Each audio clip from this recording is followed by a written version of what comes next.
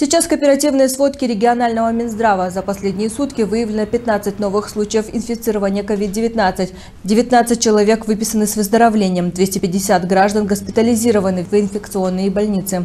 В тяжелом состоянии 18 пациентов, из них 10 на ИВЛ. Режим домашней изоляции соблюдает 1013 жителей республики.